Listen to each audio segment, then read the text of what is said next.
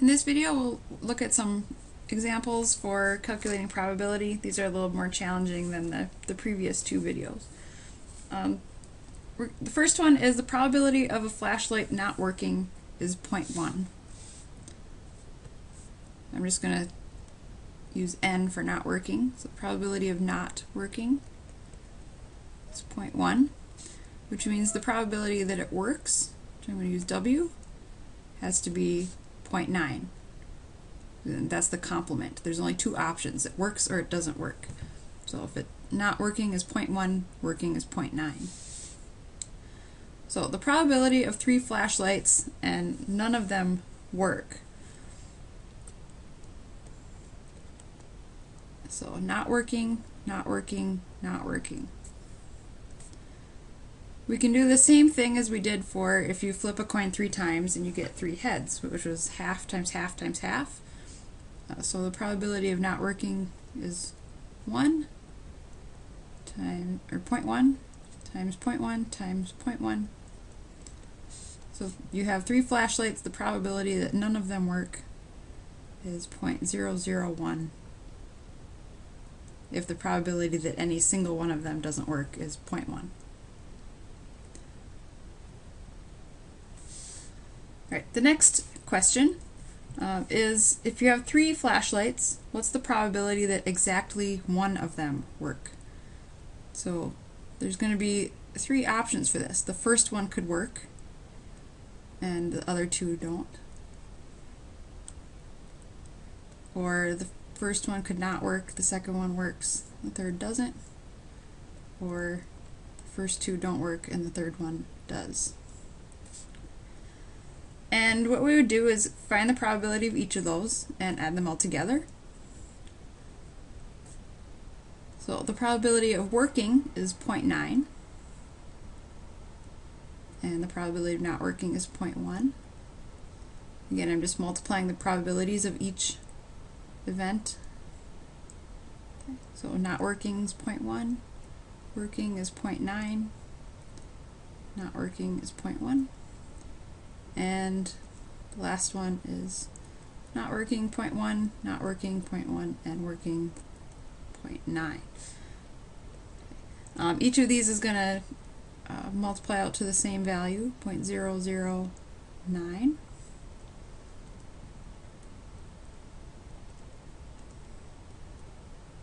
And if we add these all together, we get 0.0 zero two seven.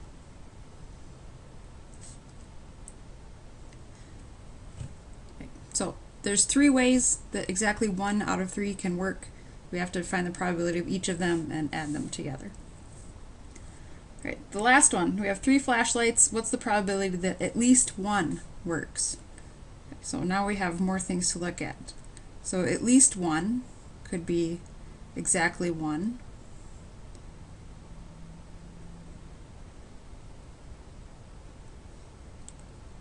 And we did that in the last one, letter B. And each of those 0.009. We could have the probability that two of them work.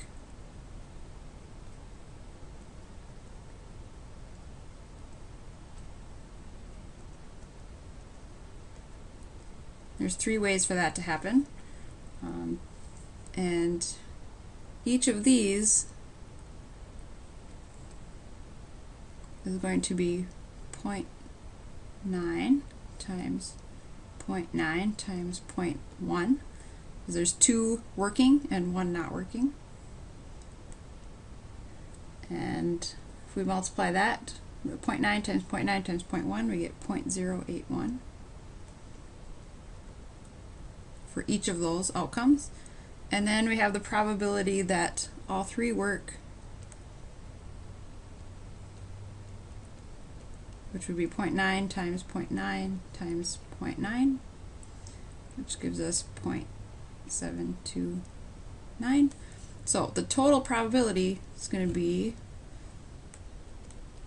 0.729 plus three ways that each have a probability of 0.081 and three ways where each has a probability of 0.009.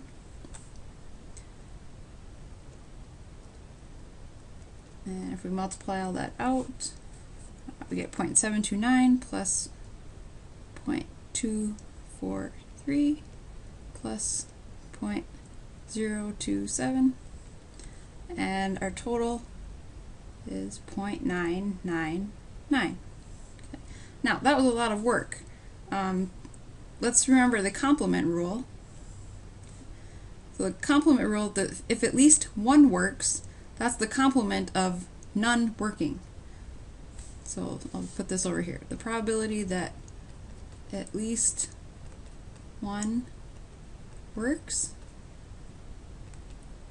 is the complement, or 1 minus the probability that none work. And we already calculated the probability that none work. That was in our first example.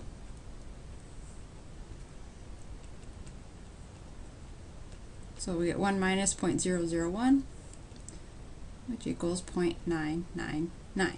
So again, we can do it the long way, find all the different outcomes, and add them all together, and we get 0.999. Or the short way, find the complement, subtract from 1, and we get the same answer.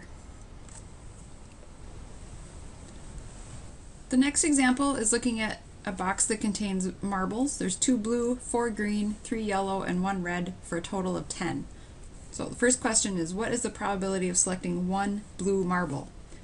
Uh, we're going to use the classical approach because each marble has the same chance of being drawn.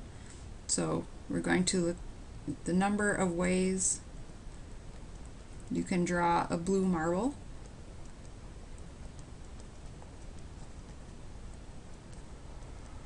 out of the total number of possibilities.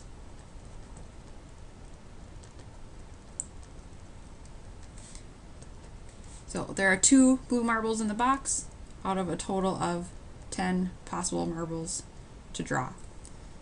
And we can just leave the probability like this. You don't have to divide and get a decimal or simplify. You can just leave it as a fraction.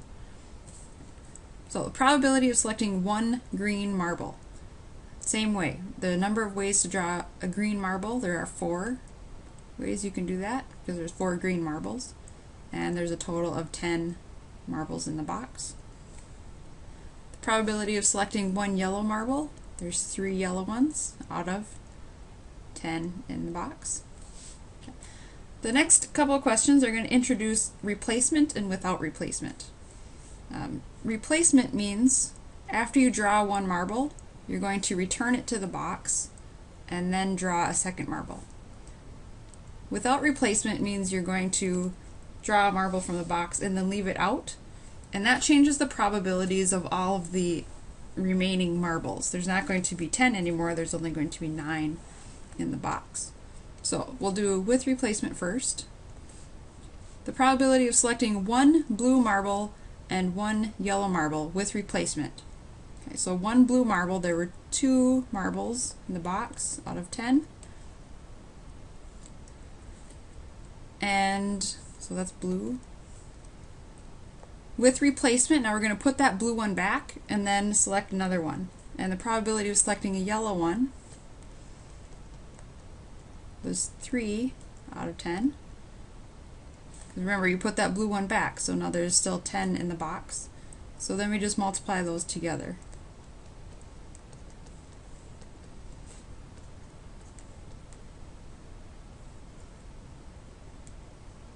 So our total probability for picking out one blue and then one yellow with replacement is 6 out of 100 ways.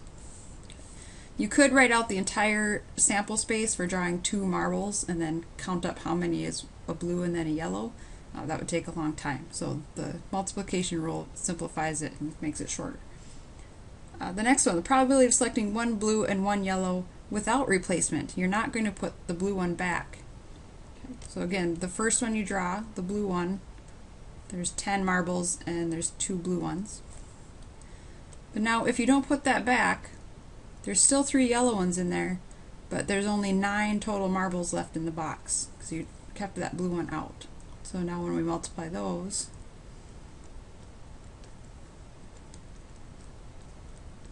our total probability changes. So it's not 6 out of 100 anymore, it's 6 out of 90. Next two, same idea. Two green marbles in a row with replacement. Uh, one green one was 4 out of 10. And with replacement, you're going to put that back before you draw the next one. So the next one has the same probability. So we get an overall probability of 16 out of 100. And then two green marbles without replacement. The first one is 4 out of 10. Now you're going to keep that one out, so there's only three marbles left that are green and only nine total marbles left. And we get 12 out of 90 so again that's with and without replacement. Uh, make sure that you check on that on your um, example or other practice problems. Uh, if it's with or without replacement it changes the probability of the remaining choices